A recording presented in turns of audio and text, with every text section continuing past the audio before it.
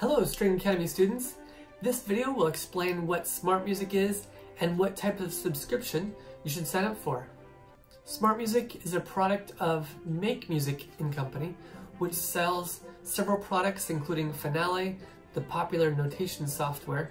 They have a large audience of 100,000 music educators and more than 60 million active music makers. Last week I spoke with a representative at Smart Music who talked with me about their new web-based platform. From smartmusic.com, you can sign up for a free 30-day trial, and most of our String Academy students would sign up for the yearly $40 performer membership pricing.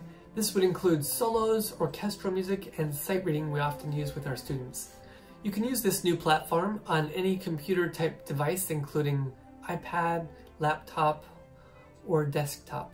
We find that it works best with an additional speaker or headphones so you can hear the accompaniment loud and clear while playing along. I'll provide links to the recommended speaker and headphones in the description below. Here are some examples of solo music, sight reading, and orchestral music.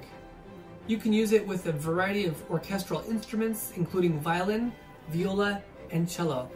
This first example is from the Viola Suzuki Book 3, Bach's Minuet. There's a variety of options for playing along. We can choose with or without accompaniment.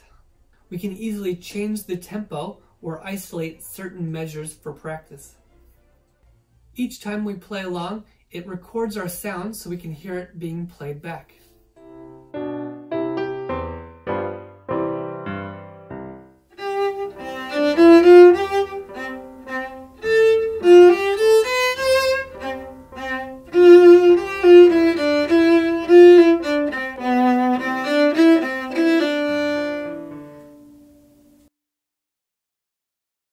Here's an example of a sight reading exercise from level 1. After tapping on the microphone button, it will give you 30 seconds to look it over.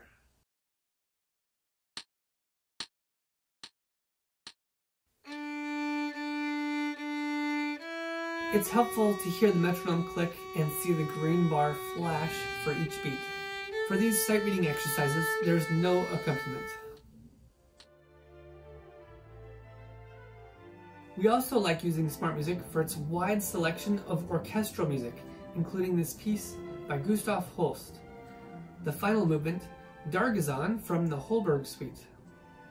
We find that using Smart Music not only can help our students with practicing solo music, sight reading, and orchestral music, but it motivates our students to work hard and more importantly, to have fun while practicing at home. Let me know if you have any questions about smart music in the comment section down below.